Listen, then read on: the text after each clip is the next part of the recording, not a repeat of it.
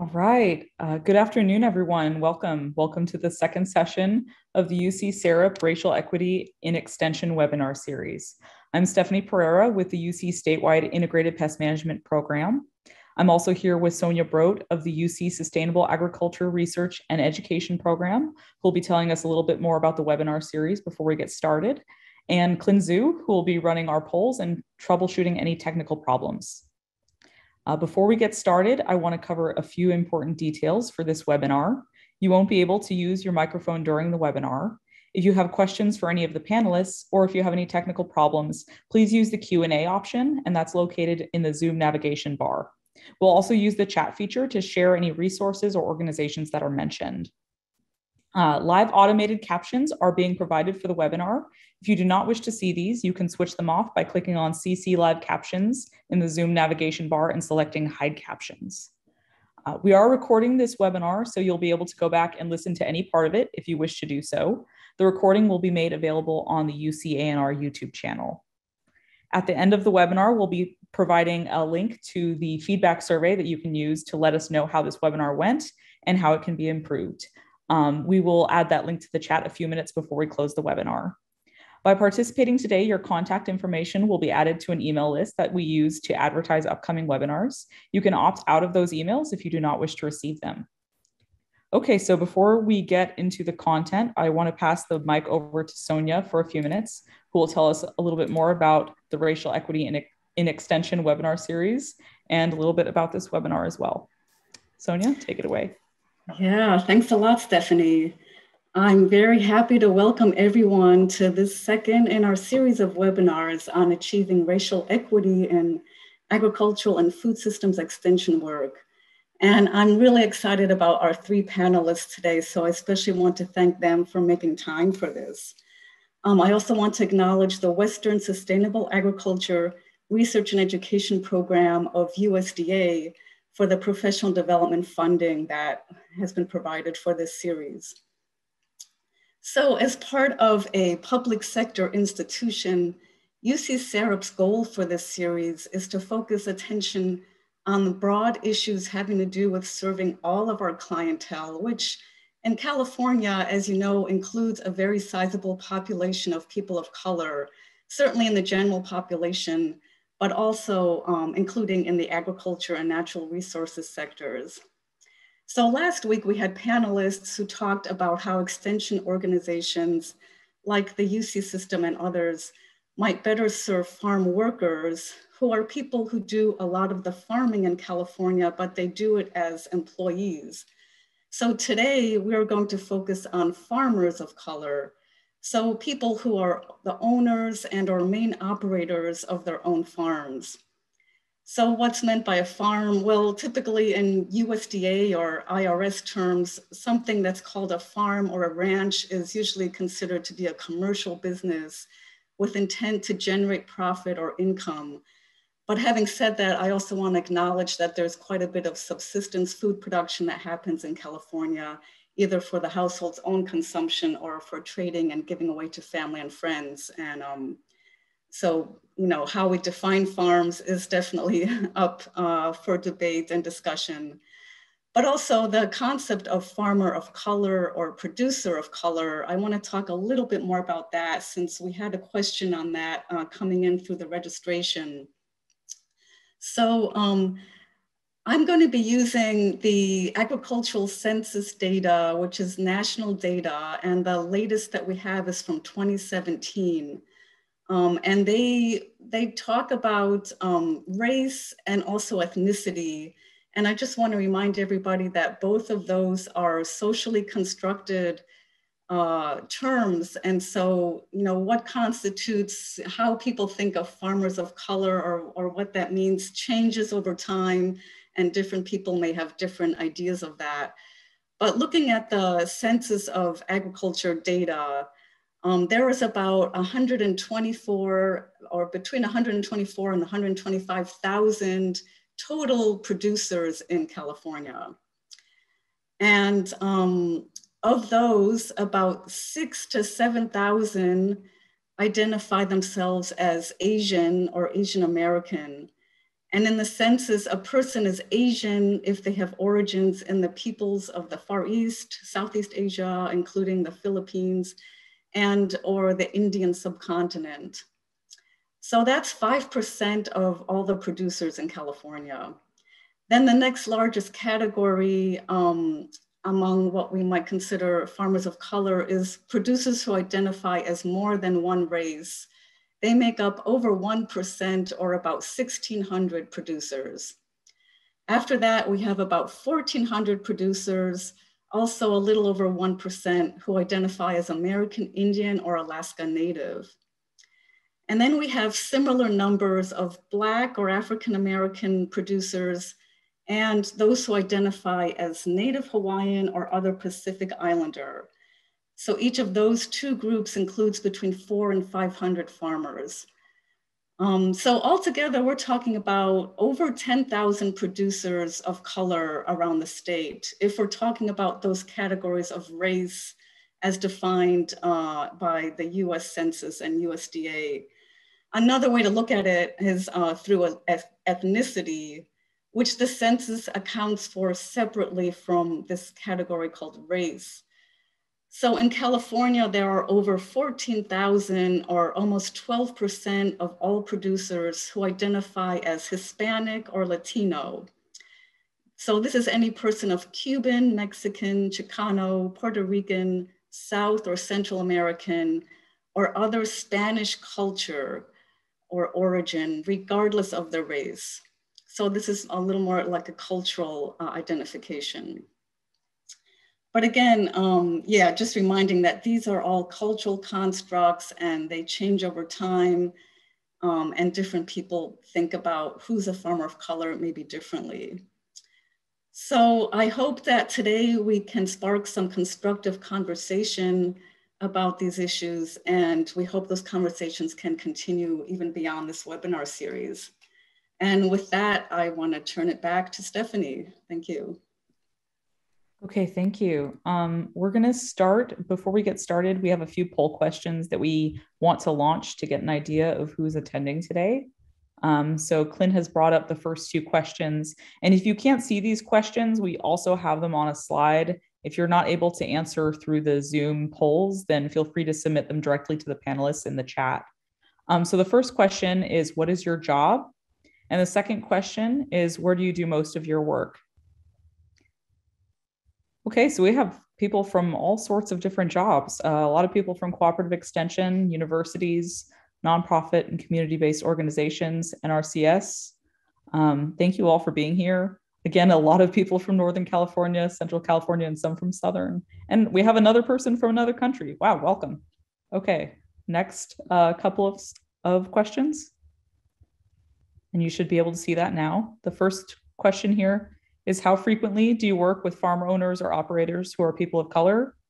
And what are the greatest challenges you face or anticipate uh, facing in serving farm owner operators of color?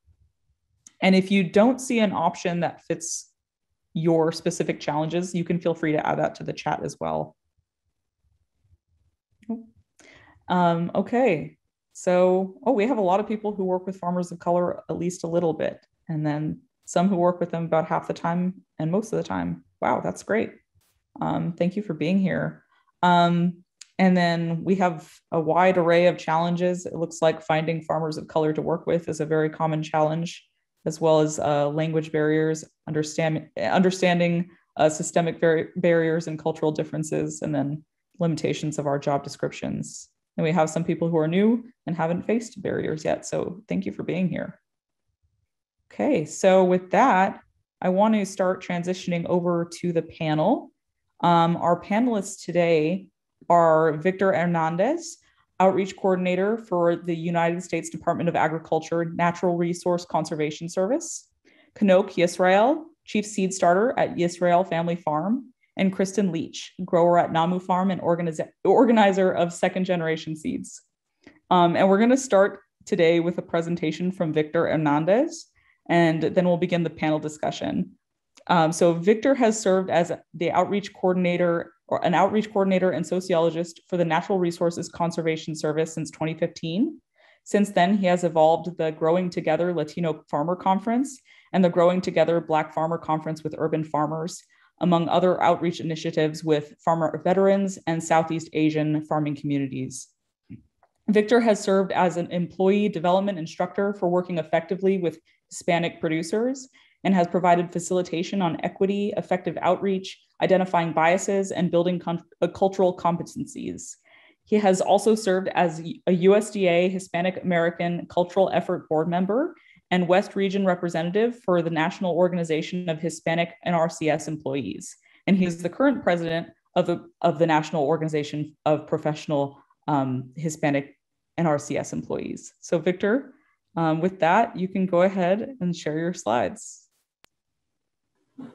Good afternoon, Extension and ag professionals across the state of California.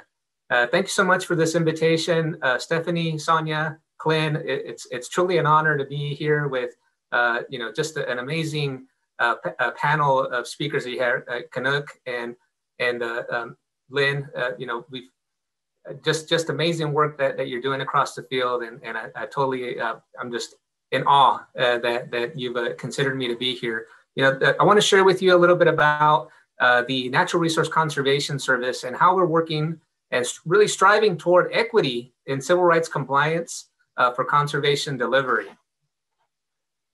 So uh, what are we going to learn about today? Uh, we're going to talk about why. Uh, why, why parity? Uh, and when, when we talk about parity, I want, you that to equate that to equity. So why equity? Uh, we're going to then talk about the how. And, and, really, I want to emphasize be intentional. And, and, and then we'll, we'll finish off with the what. And you know that's strategic outreach support. Um, and, and I think that if we put all these pieces together and then working collaboratively together, that, that our, our efforts can just go uh, have a tremendous impact across uh, California and, and then transcend across the US. So why? Uh, you know, when we think of, of conservation and, and, and improving soil health, working with water quality, water quantity, uh, working with air quality, uh, you know, we, we, we've got to ask ourselves why. Uh, why equity and service? Uh, why this term of parity? Again, parity meaning equity. And, and so when we think about that, uh, let's keep in mind that what, what we're really talking about is we're talking about equity and service, equity and program delivery, and equity and fund distribution. Uh, and, and, with, and with this, the overarching message of civil rights compliance and conservation program delivery. But I've got to beg the question, and, and, I, and, I, and I urge you to, to really reflect upon this uh, you know, through, throughout your career and, and as you continue to push the effort in the state of California, why? And for the USDA, um, it's, it's, a, it's a history of civil rights uh, lawsuits.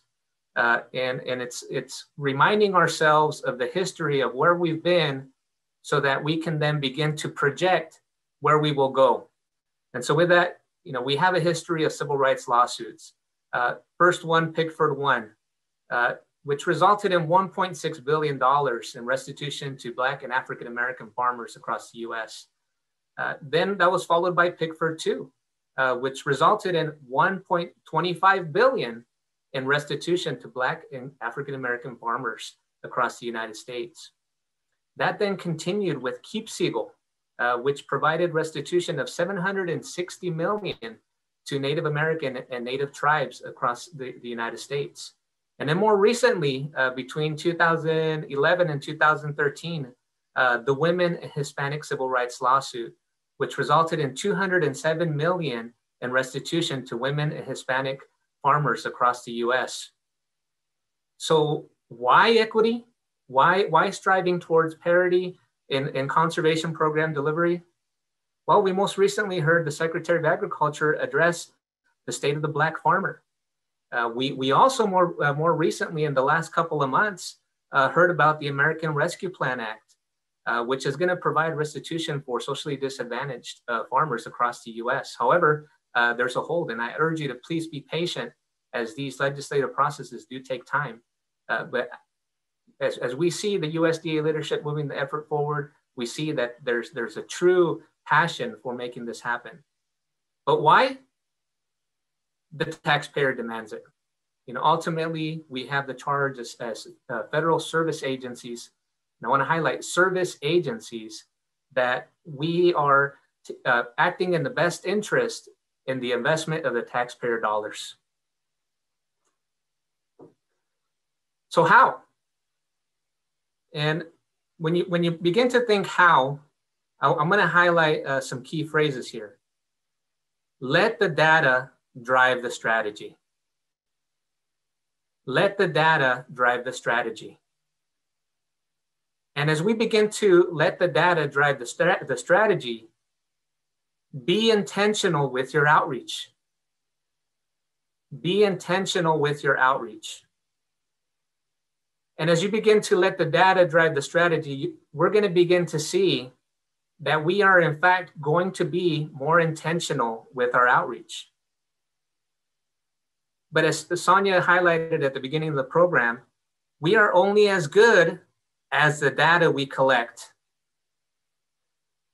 And that brings me to a critical point, especially with uh, those that are in the urban sector. As we know, the urban farmer is not yet defined as, as a farmer. So if you're not defined as a farmer, do you exist? Think about it. The urban farmer is not yet counted for in the Agricultural Statistics Service. So if you're not defined as a farmer and you're not counted in the Agricultural Statistics Service, do you exist? Well, here's an, an amazing opportunity, not only for us as conservationists, as agricultural professionals, uh, but as legislative leaders to be a voice for our farmers and ranchers who are, are, they're our livelihood, right? Without farmers, we do not exist. How can we support this urban sector, right? Because if, if we can't quantify the demographic, we cannot justify the need. And if we cannot quantify the demographic, we cannot justify the need. So just an amazing opportunity, especially in this time as the National Agricultural Statistics Service moves to begin to collect data for the 2022 agricultural census. As we move forward, I urge you to think non-traditional partners. Think non-traditional partners. So really quickly, I wanna share with you how here with the Natural Resource Conservation Service, how we begin to look at equity. Now, when we look at equity, what I'm really talking about here is equity and conservation contracting. And so as, as we begin to bridge and to fill the gap, really what we're looking at is how can we work together as partners across our state to help us reach these, these equity factors, right? So how can we improve the engagement in our programs so that the farmer is able to capitalize on their conservation practices? So how do we uh, uh, estimate the state benchmark? As Sonia mentioned, in California, we have just over 77,000 registered farmers. This is per the 2020 agricultural census. In NRCS, we've contracted with about 2,500 of these farmers, or 3% of the total farmers in the state. So what does that do? That establishes 3% at the state parity benchmark. Now, we, we, take a deeper dive and we begin to look at on a county by county basis. So in 2020, uh, there were 61,000, just over 61,000 registered non-Hispanic white farmers. At the NRCS in California, we contracted with just over 1,900 of these farmers, or 3% of the white farming demographic. Now, uh, if there's only 77,000 farmers and there's 61 uh, registered non-Hispanic white farmers, then that becomes the comparative? It's the largest demographic in our state. Uh, but what, what, what does this do? Um, at the county level, it establishes 3% at, as the state parity baseline.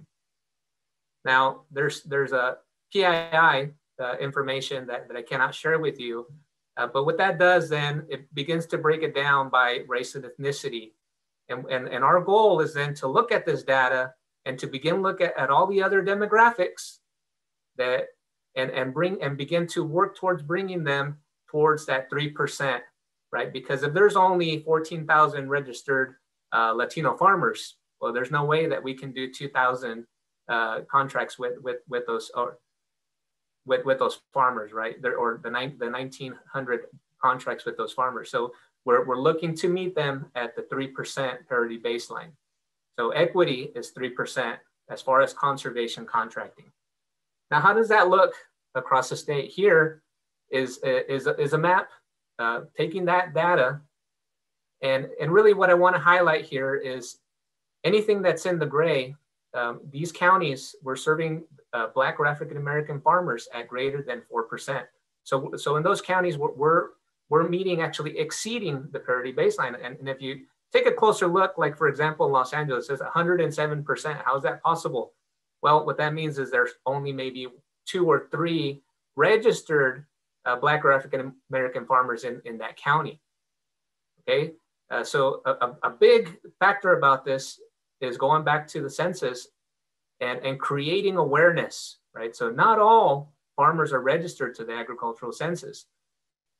But looking at the red uh, counties here that are highlighted at 0%, what that lets you know is that there are in fact registered Black or African American farmers in these counties who are not yet participating in conservation contracts. So what a huge opportunity for all of us as partners in this collaborative.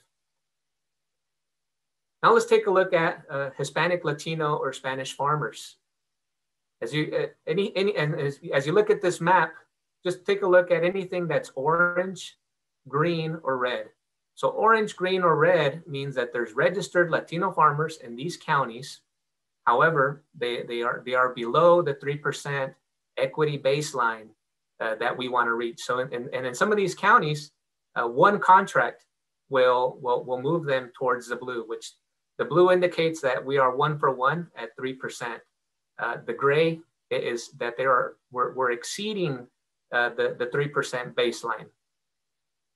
Now know that because the demographic is much smaller, it's only 14,000 registered Latino farmers compared to just over 60,000 uh, non-Hispanic white farmers. So in some of these counties, uh, one contract makes a huge difference.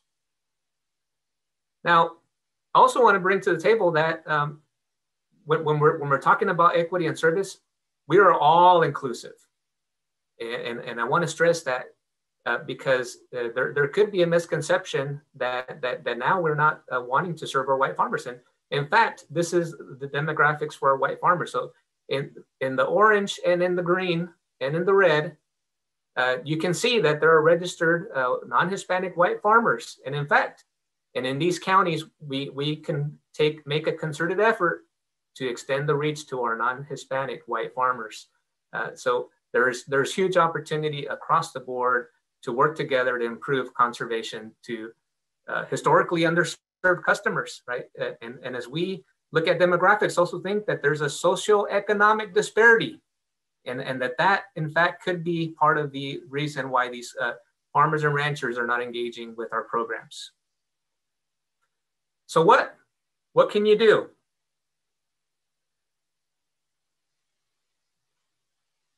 Again, when we when we when we look when we're looking at this, we're looking at equity and service, equity and program de delivery, and equity and fund distribution.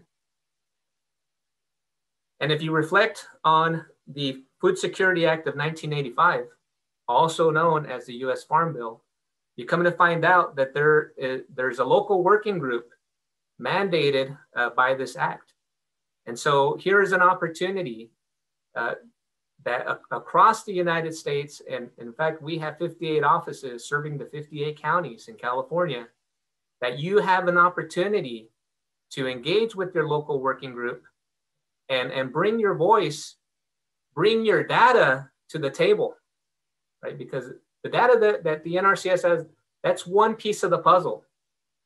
You have another piece of the puzzle. And op- here's an opportunity to bring your voice to the table, bring the voice of your community to the table, and bring your data to the table. Again, we are only as good as the data that we have available to us. And that, in fact, is strategic outreach. Uh, we are now working together as, as, a, as a collaborative statewide to extend the reach with the concerted effort to historically underserved farmers in historically underserved communities. And when you look at that, when you think, why are they historically underserved? Then we, that's where we begin to think non-traditional partners. So what partners, which, what non-government organizations, which community-based organizations should be at this local working group, regardless if they deal with agriculture. The fact is that we all deal with agriculture. As, as if, if you consume at least one meal a day, we all deal with agriculture. But how can we bring the voice of these historically underserved communities to the table so that you become a pillar of your community, so that the community seeks you out before they decide to make a strategic effort to better serve their, their, their, their towns and cities. With that, I want you to save the date. Um, as you know, we, we've been working with the National Center of Appropriate Technology to bring to you the Growing Together Latino Farmer Conference, a, a Spanish program with technical experts who have a Spanish speaking ability and, and keep, uh, bringing information, conservation resources to farmers uh, in, in their first language. Uh, also, save the date. The Growing Together Black Farmer Conference with urban farmers is scheduled for October 22nd. Now, there is going to be a meet and greet on October 21st, and we're projecting a field visit on October 23rd, which is a Saturday. But the actual conference will be on October 22nd uh, of, of this year. Uh, stay tuned for more information and visit the westfresno.org uh, website for, for updates on the Black Farmer Conference with Urban Farmers. Also, I'm very excited to present to you for the first time a project that we've been working for several years to team up with Southeast, Asian partnerships.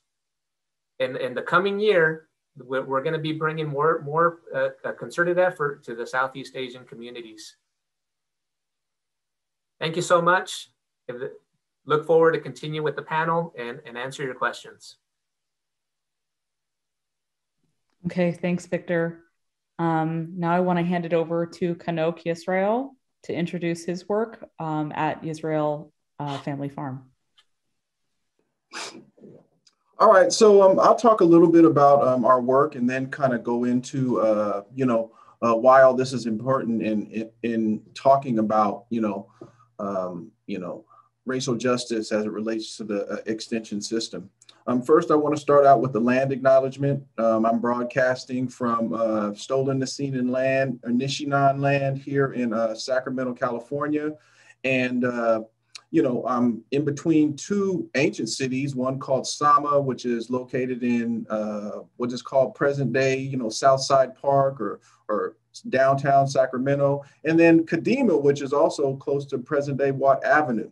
And so uh, these areas here were thriving areas of, of, of, of, you know, ecological land stewardship, which, you know, I think the first uh, settlers came in probably sometime around the 1800s or so. And then by the time of 1845 or so, around there, maybe about 1833, I think closer, 75% um, of that population had been wiped out. And so uh, the reason why that's so important as we start to talk about um, extensions and reaching out is because Many of these same uh, dynamics are still in play today, and as a result, it causes uh, things to happen. But before we get into that a little bit more, let's talk a little bit about uh, myself here. Um, I started out growing food in my backyard probably about 2007, 2008. Um, we live on about a half an acre now, and we use that as an urban farm to, uh, you know, serve ourselves, serve the community. And of course, uh, kind of looking at this, you kind of see these three beds here. Uh, if you notice, wherever I'm supposed to be growing food, there's absolutely nothing growing. Uh, and all of the places around it where I haven't touched anything seem to be the places that have the most lush growth. And the reason why I say that is because I started this type of enterprise without any prior experience. And the reason why I started this without any prior experience is because one, it's not something that I got in school. And two, even though I come from now finding out a farming family, if I go back to great grandparents on both sides, um, I found out that both of them were farmers on, on both of my sides. However, that history was never passed down because it was fraught with a whole bunch of trauma, which I think we'll get into a little bit later. Anyways, needless to say, uh, started to learn some things. The thing that I learned the most was it's best to take care of your soil. So went took a couple of classes, started to learn some things, and then I went from that uh, to this. Now, of course, you see a little small space in the backyard, but if you can imagine a half an acre, we've expanded that to you know, all different types of things. We do some silviculture. We've got some animals along with some trees. Um, we have a running nursery business. Uh, the food that we grow, what we don't eat, we sell, which we regularly sell out at different markets. And so for the last 10 years or so, um, we've been working at the intersection of ecological land stewardship, sustainable food and agriculture, racial uh, equity and justice, as well as community building and even workforce development. And so that adds to our, or talks about our mission, which is to transform the hood for good and empower the community.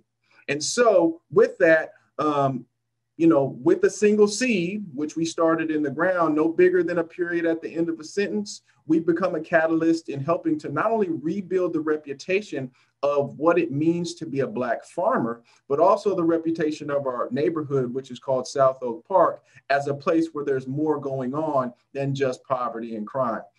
Um, and so, with that, um, we do a few different things. Uh, there we go. Um, we're growing food. Um, of course, uh, these are some of the some of the things that we do. Growing food. Um, I work around, work with many young people in the community. We have farm stands. We have U-Picks. I work with people in the community to make sure um, young people specifically, because most of the young people have no idea that this is an actual uh, career path that they can even take. Of course, growing up in the cities disconnected from food. In addition to that, we also have a program where we actually help people establish gardens. And the thing is, is that we look at gardening as like a gateway drug, right? They have a third of an acre, right? And they've never grown anything in their life. And we've had some people who, by starting out learning how to garden and grow a few things in their backyard, they've now turned their backyards into urban farms and they're now doing similar things that we've done. So that's one of the things that we do as far as growing food. Um, we also reach out to the local schools. And so this is one of the things that we did there. And, and what I think is so good about this is that if you can get children to drink a smoothie after you put kale in it um, and they're smiling at the same time, I look at that as a big success, right?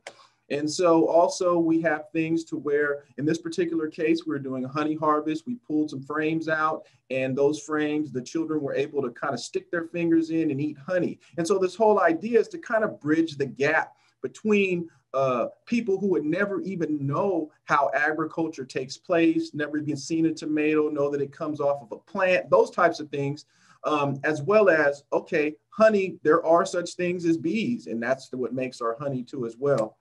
In addition to that, we've also had to get involved politically um, in our city because after we did our work and we decided, yeah, we've got enough food to maybe be able to sell some of this food now, we realized it was totally illegal to do so um, after calling around to the you know uh, local government saying, hey, we want to be able to grow our food. What do we do? They say, well, you can't. So anyways, we got together with some folks and we um, helped to pass an ordinance which makes it legal to grow and sell food in the Sacramento City and Sacramento County. Uh, so that's how we grow a community. In addition to that, we're also growing people. Um, this young lady here, she was so uh, excited about this kale here because uh, especially it was called dinosaur or dino kale. She loved touching it. But one thing is very important because uh, if it's one thing to grow the food, but it's another thing to be able to cook the food, to prepare the food. And when you talk about a community like mine, it's fraught with, uh, you know, fast food restaurants, uh, you know, empty lots, as well as corner stores where there's no vegetables. And so being able to kind of recreate this pipeline that in other communities is still there from farmer to, you know, grocery store, and then ultimately to uh, the plate. Um, another program that we have is Project Good. Good is an acronym for growing our own destiny. And what we do with that pro, what we do with that is we uh, make sure that we can reach out to youth and we spend the, the summer with them talking about everything from planting seeds to harvesting to uh, we actually put a garden in their backyard of wine barrels and then we teach them how to take care of them in fact it was something that we had to do via covid uh, because of the simple fact that uh, you know we couldn't go and see people. So we put the gardens in their backyard, and then over Zoom, we actually taught them how to take care of those gardens. But then what came up is that well, I don't want to learn how to grow food because that's something that my ancestors did, and because they were oppressed, um, I don't think that that's something for me. So there are some barriers specifically um, that we have to overcome in, in getting people to actually want to grow their food. And that's where the extension, I believe, comes in. And here's some more some more things here. She's uh, stirring some food and she's uh, real happy. In fact, they're so hungry that, uh, you know, they were, they're getting her to try to stir that food. In addition to that, we're also growing the planet. Uh, we try to create a closed system. We're very close, I would say about 75 to 80% closed system, which means that the things that go into the ground here are also created here. So we've had to come up with our own composting system. Of course, we use the manure from the chickens. Uh, they fertilize our orchard area. Um, of course, we do this with worms. We don't have enough space for a cow, uh, but we are able to kind of create that give and take relationship with the earth that is absolutely necessary for um, anything fruitful to take place. Um, we also do have bees. And of course, even our neighbors like us now because the first when they saw us coming in with beehives, they were like, I don't want to get stung by bees and those types of things. But then I was like, well, you do know that bees pollinate your fruit trees, right? And, uh, you know, if we have these bees here, you're more likely going to have better fruit and bigger fruit. And so that's happened. And so they're happy about us being here now. Um, and last but not least, like I said before, we have chickens. Um, and those chickens are located in our main orchard area. So they have a nice little relationship with each other there. In addition to that, we're also uh, profiting uh, because in teaching classes, many of which are free, um, we do have some classes that are more advanced that require more time, and we do charge for those classes. Um, in addition to that, we have a full line of products. Many of the products are made from, so value added uh, products that are made from things that we grow here on the farm.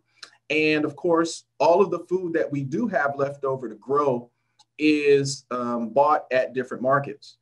And so in reality, what we're talking about doing is starting a revolution and not just a business. Uh, because like I said before, in order to kind of bridge this gap, people need to see examples of these things happening. And so uh, one of the reasons, in my opinion, why we don't have more farmers of color, especially black farmers, is because there's no way to see them anywhere. And, and of course, there are some that, you know, we have, especially in this area. You go down into the Central Valley, you're going to find more, as you saw with Victor Slides. But up here, Sacramento, those areas, you don't see them. So in seeing them, we've even had people, uh, young people actually start to think about, hey, what would it be like to be able to become a farmer? And what are the next steps for me to take? And so what we invite people to do as we invite people to uh, get involved and start their own revelation, uh, their own revolution.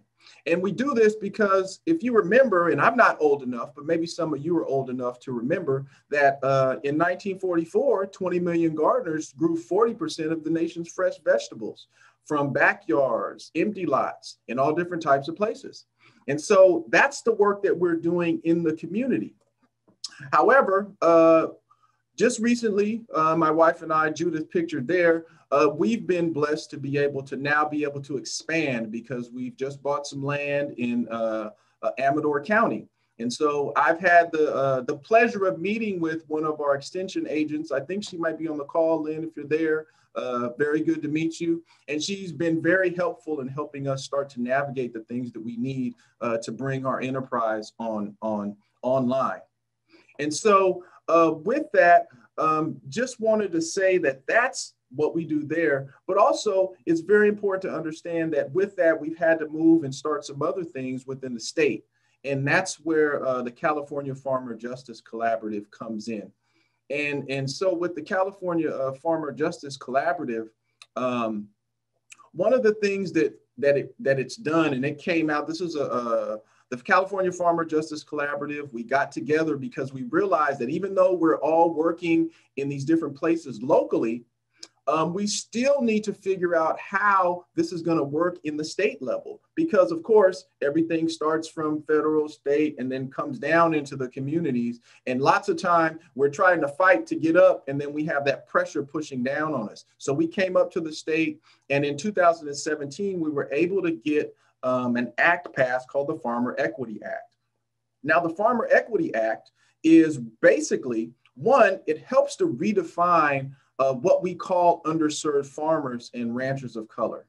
And so it defines socially dis uh, it defines a socially disadvantaged farmer as uh, someone who has been subjected to racial, ethnic, or gender prejudice because of their identities um, of a group um, without regard to their individual qualities. And so when we think about those, we think about African Americans, Native Americans, Alaskan Natives, Hispanics, uh, Asian Americans, Native Hawaiians, and Pacific Islanders. And so we wanted to make it real specific um, because, you know, as we've seen lately, when we were talking, it, at first it was we wanted to maybe do minorities. But then once we did minorities, uh, there were white farmers, um, women, uh, white women farmers who then, well, then, okay, we're going to go ahead and get into that. And we got a little bit of pushback behind that. So we had to make it very, very specific to make sure that the people who we wanted to serve were served. And so what the Farmer Equity Act does is it it's a California law that opens up the platform uh, uh, surrounding farmer equity, and it also holds the CDFA accountable for serving the needs of farmers of color. And it also will make access to grants, resources, decision-making power, et cetera, more accessible to underserved farmers and ranchers of color. And so there's a few different um, key players that were in that, and I think we'll probably start up, start to talk about that as we get into the uh, you know the meat of our conversation. But I just wanted to share that um, so you can get an idea of where our work started on the ground, and then how it's now um, expanding into uh, larger farms, as well as expanding into statewide representation. Um, so thank you. Um, first of all, thank you for um, UC SAREP for having me here, and um, I'll turn it over to the next person. Okay, um, so the next uh, panelist to introduce themselves, Kristyn Leach of Namu Farms and Second Generation Seeds. Um, so Kristyn, take it away. Hi, and I'm I'm sorry I don't have photos. My internet is a little um, unstable today, and so I didn't want to risk it. Um, but my name's Kristyn, and I farm in Winters, and I lease about six acres from uh, Mike and Diane Madison, and then I also uh, work with them with all and irrigation on some of the space. Um, and I mostly got into this from working on other farms um, and had just gotten the opportunity to contract to grow different types of Asian vegetables uh, when I was younger. Um, and so just kind of one thing led to another and then was able to start my own farm business. So uh, became a you know sole proprietor sort of accidentally just because the opportunities presented themselves. Um, and now I also do field trials for different seed companies and do commercial seed contracting, um, as well as uh, what Stephanie mentioned, which is uh, facilitate a, a, farmers collaborative called Second Generation, which is focused on really preserving and adapting uh, Asian crop varieties uh, for different regional suitability, as well as just to endure the kind of unraveling climate chaos as we're facing it. Um, but yeah, I mean, for me, when I started my farm, probably the main driver, um, as Chanowk has spoken to so much, has just been to really build community. And for me, I was really concerned. I was born in Korea. Um, I was really interested in preserving the sort of agricultural knowledge that I knew all of my ancestors had. And I saw it under threat just because of uh, the situation Korea's been in since the 80s in terms of all of this restructuring and debt from the International Monetary Fund and World Bank. And so I think Korea stands as an example um, in the context of lots of other places globally that has faced kind of the export of certain types of um, mentality and approaches to agriculture through the Green Revolution and other uh, well meaning agricultural development. But those uh, types of expertise and that real kind of worldview and cosmology about our relationship to land and seed and plants uh, has really dispossessed a lot of small farmers and peasants of land in places like Korea and other parts of the global south. Um, and it just makes these small farmers distrust our own knowledge and knowledge that's existed for centuries um, before the kind of current iteration of agriculture that we're situated within right now. And so that was really the big thing for me was knowing that a lot of the older farmers that I turned to, you know, just said you should be able to feed yourself and your family with just a sickle and a hoe. Uh, all your fertility, you know, like the world is generous and it's there for you. Um, and to just approach our job as farmers with that same generosity of like what we want to give back and what we want to reciprocate to our ecosystems instead of just seeing it as everything that we could stand to take. Uh, and so that's been a lot of the real focus. And I think part of what hopefully will be part of our conversations is just, um, you know, the kind of the danger of um, perceived expertise, whose knowledge is respected and listened to and just seen and validated um, and you know really whose work and contributions whose labor and land and resources is uh, has helped build the type of economy that uh, we have in california thanks to agriculture and in the us uh, and just globally you know like who's sustaining the work of preserving biodiversity. Um, and these really kind of amazing sophisticated and elegant uh, agroecological uh, systems that you know we don't often legitimize through the kind of like scientific language and perspectives that are seen as, uh, you know, as seen as being really technically proficient, but uh, you know, in many ways they're more dynamic and more resilient than the things that we're, you know, perpetuating right now. Uh, so that's all I'll say is an introduction to my farm. And thanks for having me. Thanks, Kristyn. Um, okay, so with that, I think we'll begin the panel discussion and Q&A. Uh, we did get some questions from our registration form, and so I think I will ask some of those first. Um, one of the questions is, what examples can you give of extension professionals supporting farmers of color to start ag enterprises in places where currently there are few or none? What would you say to extension professionals who say, but there are no farmers of color in my service area? And I can put that in the chat because that's a long question here.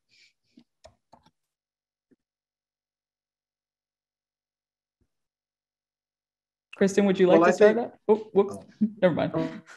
I was going to say that, you know, I think that Victor kind of hit that point, and I think we probably need to beat it until it can't move anymore, um, which is really to reach out because it's not that there's sometimes that they're not there and we find this out in the city a lot is that it's not that there's not people there it's that you just don't know them and then you don't know the people that know them. So once again we're talking about building partnerships with community-based organizations um, such as the cfjc california farmer justice collaborative because we know where all the farmers are in the state uh, and we've, you know, done a lot of research. You know, the the um, at the same time, the um, the Farmer Equity Act, there was a, a big thing that they came out with, a, a state of how, you know, who's doing farming in in in in uh, California. So I think that those are the main things that get the people who are already working with the farmers because they know where they are. And it's funny, many times they could be right under your nose. And in many times, because of lack of land tenure, and those types of things, they can't just go and fill out the census in the same type of way. That's for a farm owner to do. So if they're a farm worker or what have you, um, then they can't do that as readily. So making making partnerships with community-based organizations is the key to do that. Absolutely, and just to uh, add to uh, Chanowk's uh, message here, you know, the local working group is just an amazing opportunity to get your voice on the table. And, you know, like I said, working as a collaborative across the state, right, to not only bring your voice to the table, but bring your data in, to the table because a lot of times uh, your organizations uh, are able to do much more with data gathering than, than what we are as, as, a, as a federal entity. And so, you know, working together, uh, I think it just that that's what's going to make us uh, allow us to move much forward and and meeting these farmers. And I also wanted to add because, like for example, uh, when we when we launched the Black Farmer Conference with urban farmers in West Fresno with Miss, Miss Yolanda Randles uh, back in uh, 2016, 2017, we had we, we were below the parity baseline uh, with serving uh, uh, Black farmers in the state. And in fact, at that conference, uh, we had we had a unique story that our, our district conservationist in Hollister was able to connect with one of her farmers there that she that she had never met before, right. and and through that farmer, then the farmer to farmer network and the word of mouth uh, grew, and and as a, as as a result, uh, we're currently serving uh, Black and, and African American farmers at four percent, so just above the parity baseline. Now that doesn't mean that we stop the work there. As you see in the map, uh, there's a huge amount of opportunity, uh, but the demographics are small. Uh, and you know what we found at that conference, because we, we did team up with the National Agricultural Statistics Service, and uh, we asked the question, uh, who here is registered in the, in the ag census? And no one raised their hand. And, and then so we said, who here is not registered with the ag census? Everyone raised their hand. And so it, it just goes, just educating and creating awareness. And, you know, I'm, I'm going to segue into another question that came up on my side about uh, the ag census and how we can work uh, closer with these farmers. And, you know, the key is educating and creating awareness, right? Because when we're looking at uh, obtaining funds and, and, being able to support our communities, if, it's, it's like the urban farmer. If, if, if you're not counted, if, if we can't uh, uh, measure the demographic, then we can't justify the resources. And, and, and I think when you bring that message to the table that, hey, it, it by not registering, but then engaging with the program, you're actually taking funds away from a farmer that did register. And so you end up doing a disservice to your community. And so the, the, the best, you know, just by creating that awareness that we can begin to move our, our uh, people across the state to, to register uh, in the ag census and be counted. Because at the end of the day, the, the data uh, justifies the means, right? So if we can quantify the demographic, then we can begin to justify the need. Yeah, I mean, I think what Victor said, it brings up just this sort of chicken and egg conundrum of just like you need the data to justify where the money is going to go to, but you know, realistically, like people need to see some real structural change to earn any amount of trust to work with agencies like co-op extension or SAREP and all the other acronyms that there are out there just because there's been historically like just a complete breach of that trust and real violence directed towards a lot of these communities. And so I think, um, you know, I understand like that that data really needs to be there for you all to justify and have a compelling sort of narrative to give back to all the agencies that you're accountable to. Um, but just to say what Victor and Chanowk both have said is just like collaboration is really key. Um, and I think it's just about also looking at how much we're looking to kind of you know, centralize those resources and saying, you know, like I think a lot of people think access is just about like keeping the door open or telling people they're welcome to walk through the door, but it's really about the structural integrity of like the whole blueprint. And I think when so many of our systems have been designed to really actively dispossess, you know, Black and Indigenous and communities of color, uh, we can't just you know flip a switch and say well now we're letting you in here uh, without really addressing kind of like the cornerstone that that whole you know economy was built on. And so i think the more you can kind of outsource um, those resources and redistribute it and the more that these kinds of agencies can act as a conduit to not only um, build relationships, but like build trust through like uh, redistributing actual resources and capital, just because technical assistance is just really the tip of the iceberg in terms of what really helps farmers be resilient. And that's where so much money kind of goes to in terms of especially supporting beginning farmers and ranchers and socially disadvantaged farmers. But realistically, there's a host of so many other levers um, just about like land access and security and tenure, just affordable cost of living, um, lending and access to capital and all of those things are actually much bigger burdens to bear for most communities of color than not having the knowledge of how to grow the crops that we want to grow and not knowing how to be adaptive and nimble in the face of climate change. And so just to say like we focus on like the um, the sharing of this knowledge or trying to teach communities like how to kind of grow things better. But really like it's about the broader landscape of lots of different things that are actively keeping communities disenfranchised. Um, so I think, yeah, beyond just sort of, um, you know, building that trust and and working with different community partners, uh, the more you can send some of those resources in and let those communities do it in a way that lets them be autonomous, will earn that trust because it's not saying like we have this ask where we're ultimately going to still continually benefit from the work and labor and wisdom that you all have in your community. It's saying, do the work, do the work that you've always been doing, and we're just going to find ways of actually compensating you for it where historically you haven't been compensated. Thank you all. That was so thorough. I appreciate. Also, another that. another thing I'd like to ask, and this is just something I want to ask Victor, is like when is the uh, when when is the survey due? Usually. I believe the next one is coming out for 2022, and so okay. you know this this is. A, and uh, you know we've been talking about the urban demographic since uh, back in 2016 when we were getting ready for the what was going to be the 2018 uh, ag census. It, it, ends up coming out in 2020. Um, you what know, month? so it, it, it's. And what time of the year? You know, I, I don't have the exact month. Okay. Uh, but you know, um, come come to the Black Farmer Conference with Urban Farmers with uh, Yolanda Randles because you know we want to invite uh, National Agricultural Statistics Service leadership here in California to to participate. And you know, maybe that's a good opportunity to get them a, a speakership opportunity so they can uh, you know help us create that awareness you know, the main thing is that it, it's a regional office. Uh, you know, the, the ag census was originally done by the, I believe, the Department of, of Interior, um, and, and, and then it, it was then eventually adopted over to USDA. Uh, so, you know, there's, there's a huge uh, gap, right? Because if you see the census people now, what do they do? Well, they split up the town into uh, quadrants. And then you have individuals going and knocking door to door. And we don't do that in, in the ag census. You know, we, we really highly rely on social media, on other media outlets, and and and people like like us, right, in, in our in our organizations to be able to you know share the news and and really then you know go visit your local service center so you can get that you know fill out the application. So you got to send the registration to the to to the Agricultural Statistics Service. Then they assign an, an identification number and then now you will be then able to receive the ag census. So it is it is a process, right? And so, um, you know, all we can do at this point is really just uh, educate, create awareness, uh, and, and help to spread the word wherever possible. And we do have a follow-up question regarding the census in the Q&A.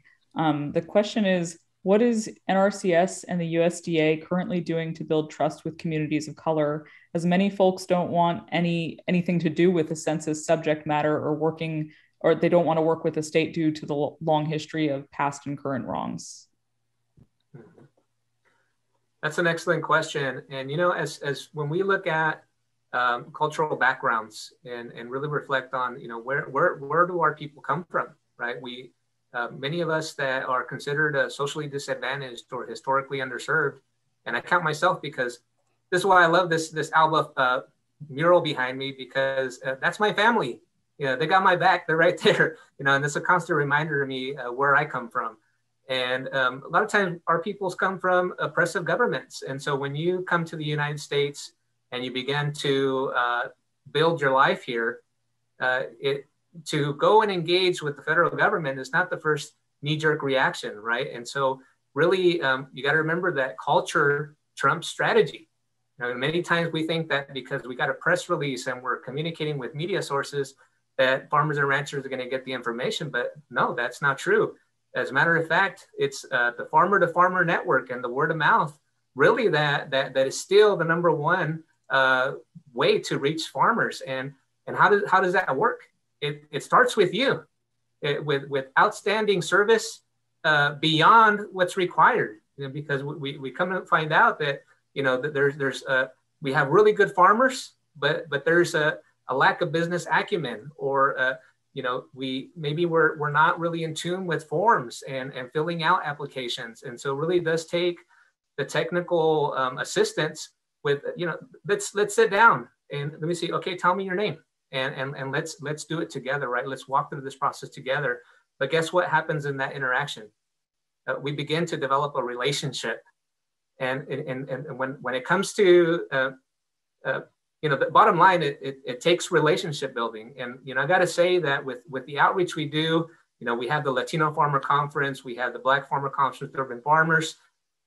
Those are, those are tools. those are tools in our toolbox, right? But you get the job done, right? Our boots on the ground, the soil conservationists, the district conservationists, the, the technical experts, the agronomists, the engineers, you that are in the field, you get the job done. Uh, you know, because at the end of the day, it's your relationships that you build with your farmers and your community, and, and, and then that you extend that invitation. That, that's what brings farmers to the to these conferences you know, because I, I, can be out here, you know, I'm over here in Davis. I, I, can be announcing and putting things out in, in, social media, but you know, at the end of the day, it's it's the, the relationship that's built at the field level and that, that one-on-one interaction.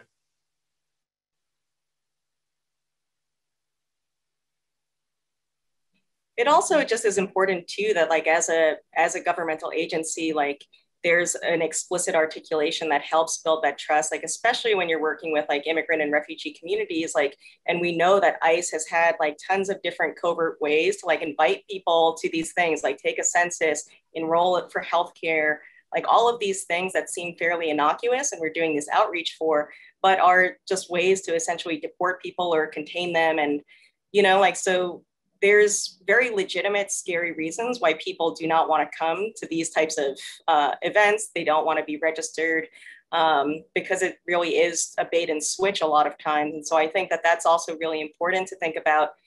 Yeah, what Victor said, like farmers and farm workers, we're like feeding the world, right? And it's our boots on the ground that has that knowledge of how to like keep feeding people in the face of like all of this anarchy that's happening.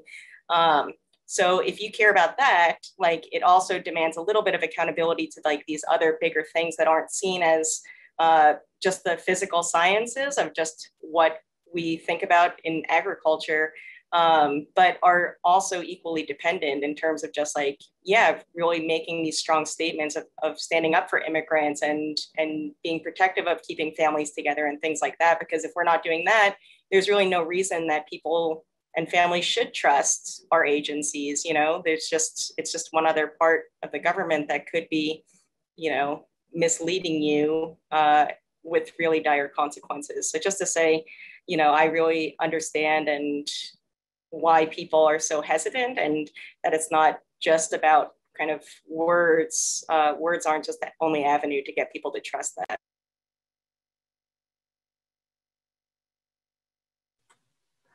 So as you begin to reflect uh, as how can we engage with these communities, you know, and, and, and, and really look at the cultural factor, it's like, okay, so where, where, where do, where, where do our farmers get their, their information from? Because we, we really what's happening is our communities are siloed.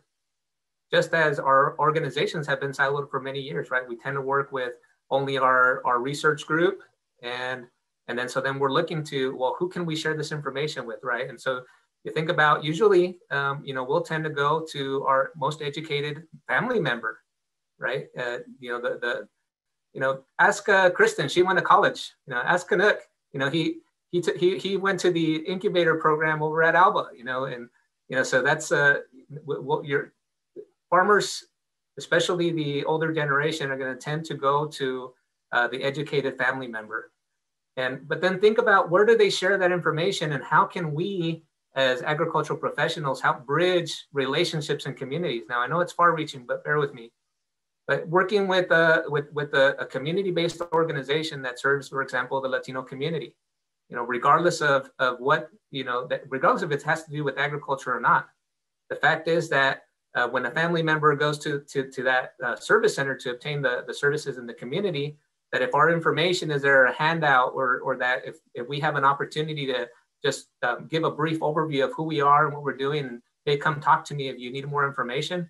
Well, guess what? Now you've given somebody in the community uh, an inf- uh, some information to take back to the barbecue, right? And, and now you're helping, now you're bridging relationships, right? Because uh, you, maybe um, I had nothing that I could relate with with my uncle or with my aunt.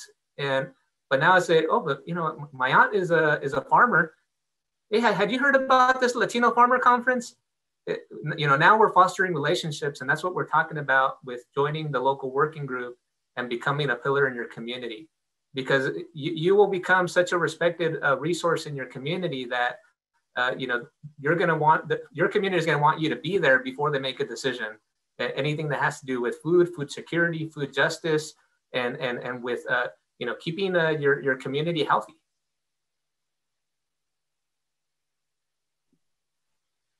Chanowk, would you like to expand on it on the question, or what, should I move on to the next question?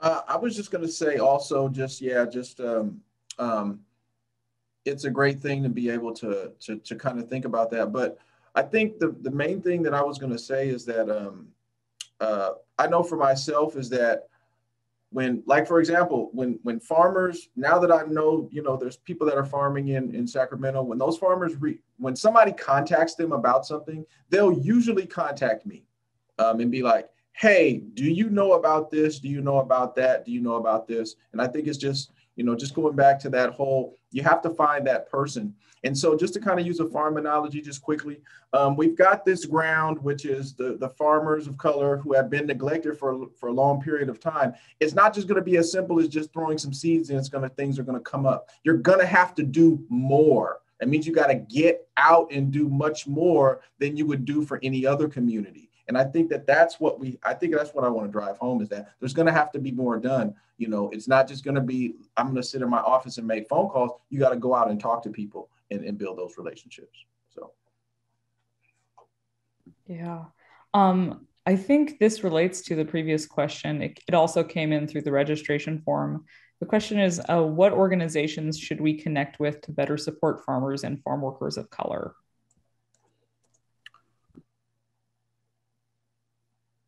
Um, I know CFJC is one. Um, I know that there's also a, an organization called Minnow um, that's also uh, um, she does Minnow, and they work with um, Asian farmers. Um, and those are the two that I know. Um, but the thing is, is that within those two, they're probably we're connected to other other people too. So it's more like okay, you get in contact with somebody and say, hey, I'm looking for this particular place. You're like, let's thumb through the thumb through the banks here. Okay, we got this person we can connect you with. So I think that those those are good starts for for what you're looking for. You know, we also mentioned uh, think non-traditional, and you know, think you know think think about farmers as business owners because if you're a farmer, you're a business owner, and um, farmers are entrepreneurs. You know, so as as business owners and entrepreneurs, uh, you know, a lot of times what we find out is that the, the biggest uh, uh, knowledge gap for farmers, uh, well experienced farmers, is business acumen, right? And so, uh, beginning to uh, reframe who the farmer is, right? That if it, if it says business or resources, or it says entrepreneurial resources, that that's a workshop that we want our farmers to attend to because we must help support farmers to develop viable business models so that they can continue to farm and do the good work that they do, right? And, and many times that that's that's that's the, the, the challenge in itself right? That um, until we can keep farmers farming through viable business models then we can uh, move into addressing resource concerns right? So uh, just i think when we look at that you know that if, if we can if we can help facilitate that that that goes a long way. But also you know think of your chambers of commerce. You know your chamber of commerce is, is, is a central point usually tied to the, the mayor of the town uh, but all of the local businesses convene here on a monthly basis to uh, network, network, network, right? And you know, what better way to um, not only obtain business resources, but also to make business connections uh, for market placement. You know, your local restaurants go there, your local school districts go there, farm to school. Uh, you know, so so there's uh, unique opportunities that happen when within the Chamber of Commerce.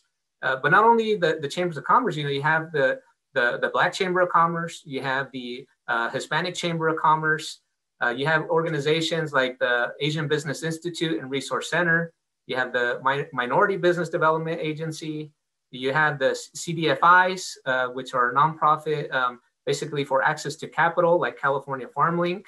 Uh, you know, so you you have a, a, huge array of resources. Just a matter of reframing, uh, you know, the mindset that if, if if there's a workshop and it doesn't say agriculture or farmers, no, if it says business or entrepreneur resources, that's you, uh, right? That and, and helping facilitate that so that you know we can keep farmers farming and helping them stay viable in, in, in this uh, you know this business that, that that really is has so many variables.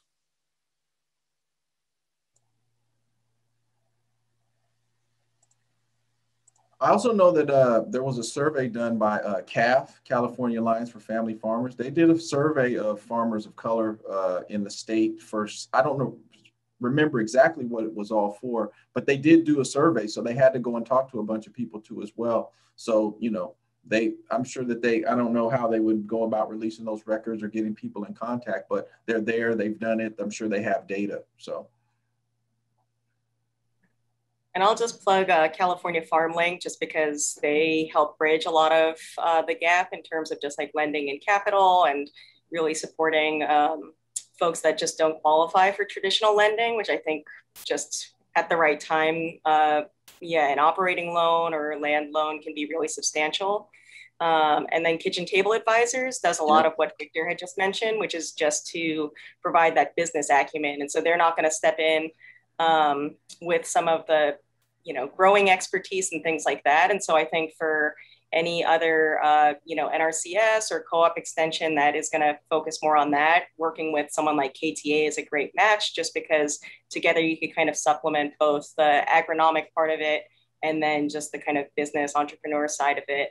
Um, and I think, you know, to Victor's point too, like I think a lot of um, who we can look to are just the um, external facing parts of those market channels. And so just thinking about where farmers are wanting to, you know, bring their food, what are the avenues they have to sell their produce, um, and thinking how to strengthen it. Because I know, um, you know, Co-op Extension in Fresno had done a lot of things around marketing Asian vegetables to support Southeast Asian farmers there. And I think it was just a really great example of not, you know, using Co-op Extension or these avenues to kind of help farmers become literate in a very sort of particular iteration of American capitalism, but rather just saying, oh, these are the crops you love, these are the crops you want to grow. This is the crops that you grow on the side no matter what to feed your family and community. So, how can we actually just bolster um, the market end of it to meet the things that you're really competent in growing rather than developing these strategies just to get immigrants to grow, you know, just lettuce and strawberries like everyone else? Um, so I think, yeah, working collaboratively with other small businesses and things can create like lots of really nice synergies that are just you know it's just going to be that thing where the seed planted today just means like in the long term uh, those relationships get to flourish. And so the investment made by agencies like ones present here just gives yeah all of those other communities room to be growing and flourishing and be kind of more autonomous than just constantly kind of coming back for aid and support. Okay, thank you all. Um, I think I'm going to move on to another question. Um, we have a couple questions here in the chat. Um, one is besides grants and besides changing policies, I'm not sure how that applies. Um, what are one to three things that cities and or counties can do to support urban farmers? Uh, what are the things that can make it easier for the next urban farmers to get started? And what are struggles you went through that changes in city or county activities or programs could have ha- made easier for the next generation of diverse farmers? It's kind of a lot there, but.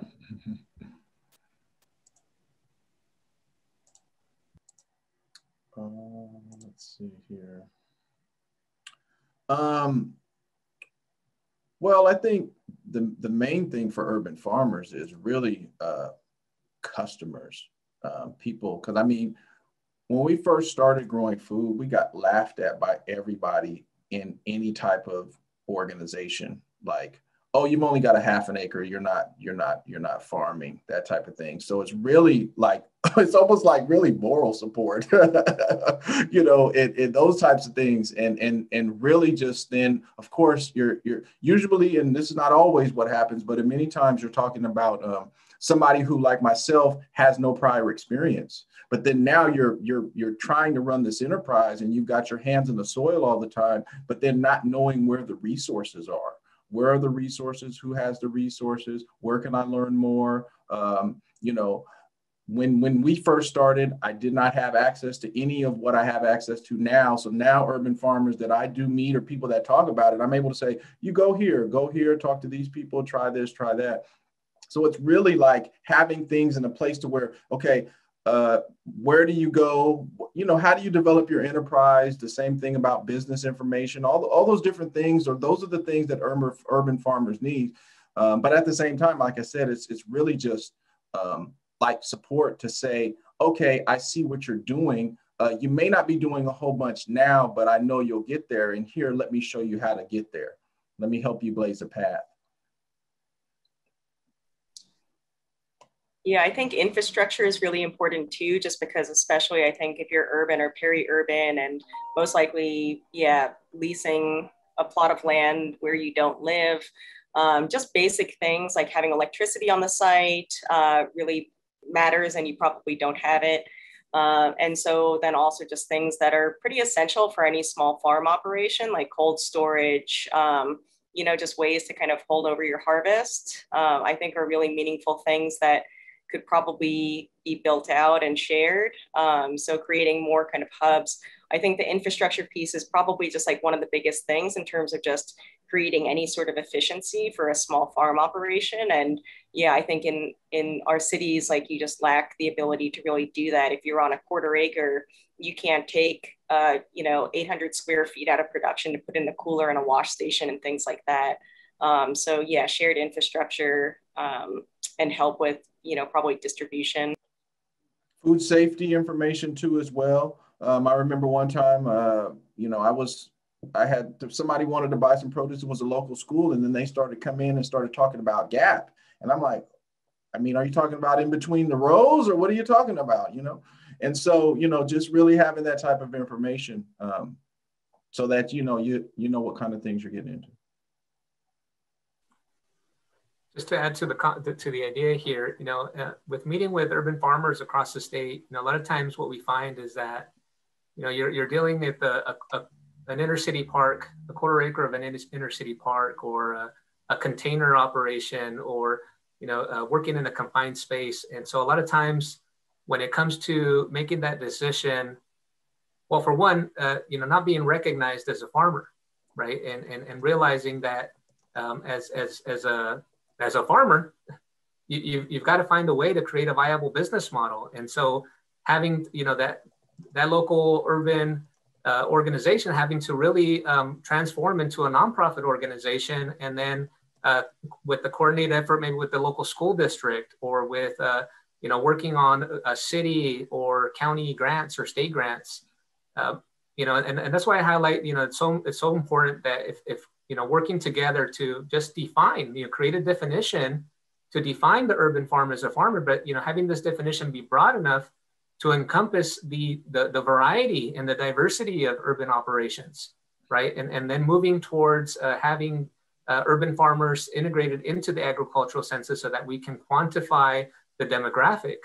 Um, you know, a lot of times, uh, urban farmers, uh, what I found, and this is a, you know, this is not what I what I say. This is this is what I've what I've listened to um, with meeting with with uh, organizations in, in California is that you know not being uh, identified as a farmer uh, per, you know really limits uh, when, when uh, a request for proposals from like uh, the USDA come out right? So not not being able to identify um, the, yourself with with the farming organization because I'm not defined as a farmer.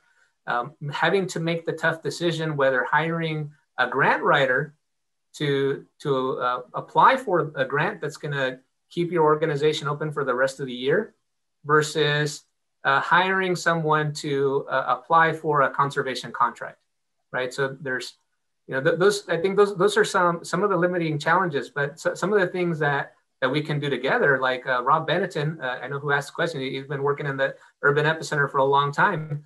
Uh, you know being able to identify um, what are the resource concerns that urban farmers are currently uh, engaging with and, and, and, and being able then to align those to some of our programs so that uh, we can essentially uh, put money back, back in the farmer's pocket, right? Because that's, those, that's, that's what federal incentive programs do, right? That the farmer is going to um, implement the conservation practice and the incentive is that then they would then uh, are going to rate a, a, certain level of reimbursement for adapting the conservation practice.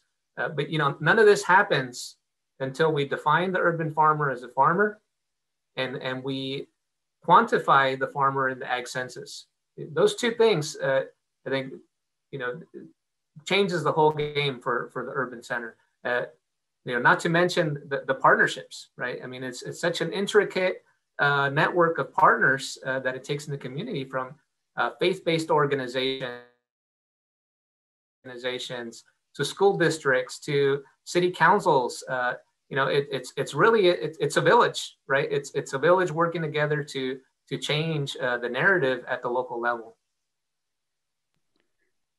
Okay, we're getting a little bit close to three o'clock. I'm going to try and ask two more questions before we close out. Um, so one question that we that I wanted to ask um, that we had that we think would be important to address is what would you like to see from extension agencies and organizations uh, in terms of moving towards a, having a more diverse workforce? Why is that an important aspect of improving services for farmers of color? And what changes do you think would work toward that goal?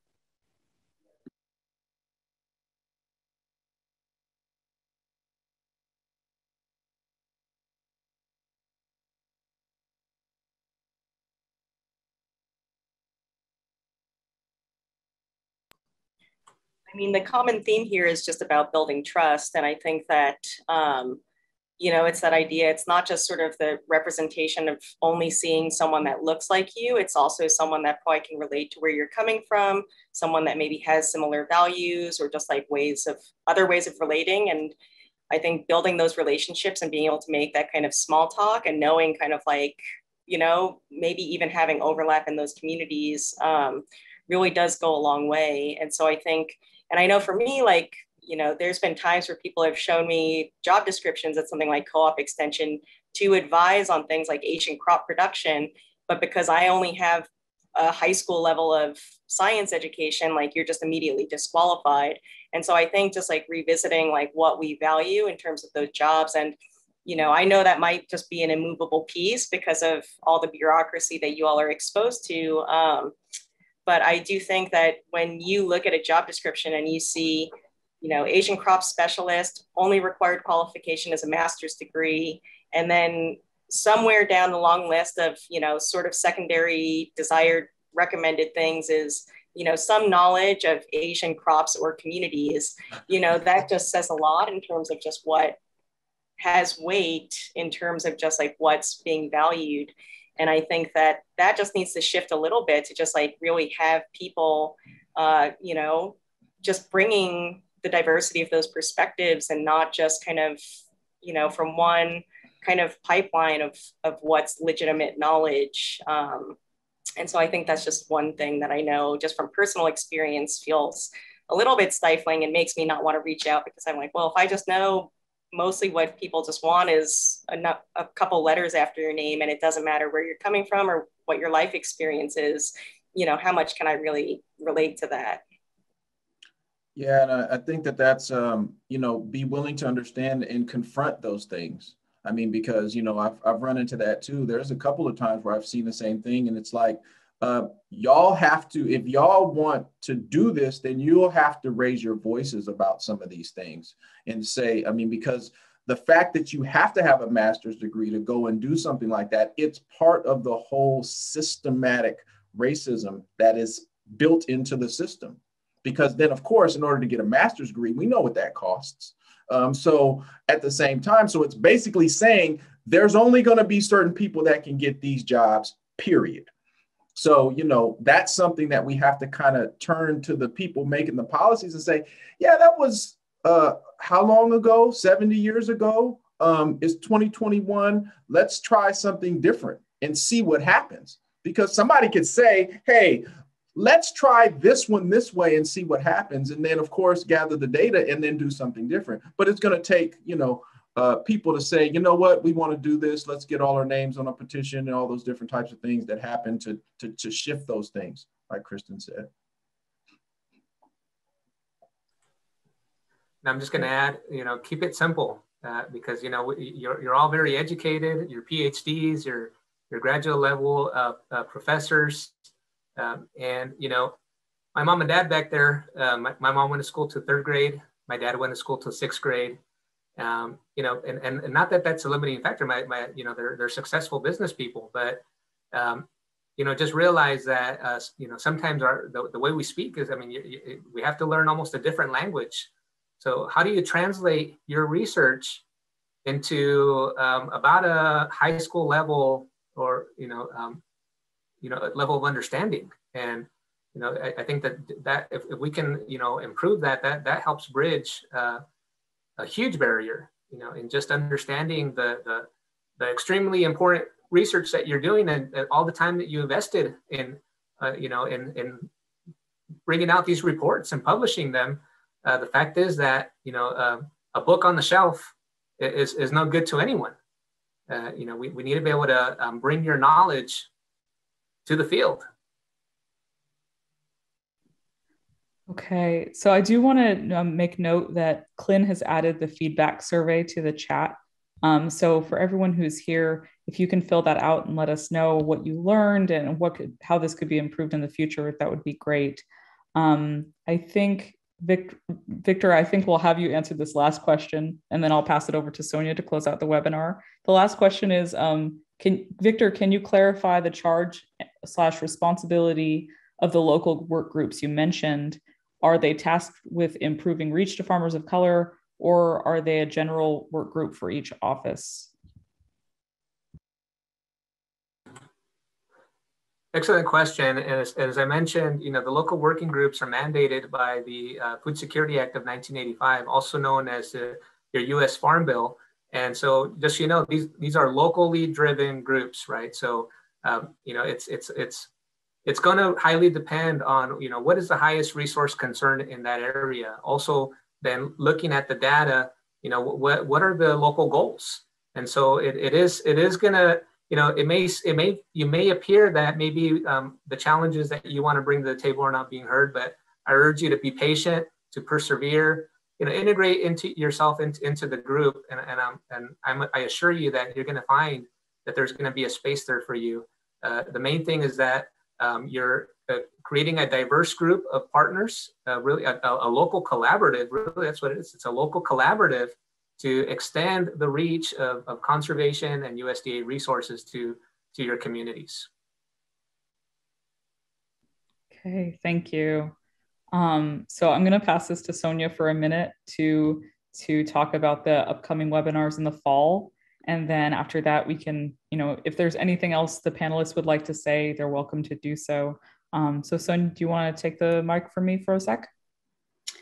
Yeah, thanks. Wow, uh, Chanowk, Kristyn, and Victor, thank you so much. Really, you bring up really important issues. Some of them are maybe difficult for extension organizations like us at University of California to address, but there's also many really good points, um, especially about partnering with community-based organizations and considering our job applications and, and requirements. Um, I think those are two things that I really take away from this, among other things. But um, Kristyn, you brought up um, issues of like land access being super important and also the question of knowledge and what uh, knowledge is being privileged, whose knowledge is privileged, who do we respect as far as sustainable agriculture knowledge. Those two things are in fact um, the topics of four more webinars that we're planning for the fall in probably September and October. So everybody who's interested in those topics, uh, please watch your emails and we'll be getting out information on that as we get closer to those times. Um, and yes, I want to put in another plug. Please do fill out that feedback survey. We really do use that information and we'd love to hear from you about this webinar today. Um, I think that's it. Thanks. Okay, so I think I'll, uh, if the if any of our panelists would like to have any closing remarks, now would be a great time. Thank you so much, all of you, for being here. Your knowledge is so valuable. If I may, I, would like to share a, a, a poem uh, by one of my uh, favorite uh, boxers, uh, also known as Muhammad Ali uh, you know, he is, the shortest poem uh, that, that I've been able to find. And it's uh, me, we, you know, me, we, you know, you know, together we can do it, you know. So uh, think about it. Uh, I mean, I, I, I've been reflecting on that poem for many years and it, it, it just has a profound uh, impact on your life. Kristyn and Chanowk, would you all like to say anything or are we ready to, to yeah, go? just thank you for having me. And yeah, really nice to be on the panel with Victor and Chanowk. Um, I have something to share too. Um, this is a call and response that I usually do with Project Good um, when we're uh, usually usually at the end of our sessions, but really at the end of our last session. And I'm not going to do call and response, but I'm just going to basically it's something from Assata Shakur, and it says um, it's our duty to fight for our freedom. It's our duty to win. Um, to win, we must love each other and support each other, and we have nothing to lose but our chains. So, you know, let's make this happen. That's beautiful. Um, thank you all, and everyone. Uh, have a great have a great rest of your day. Thank you. Bye.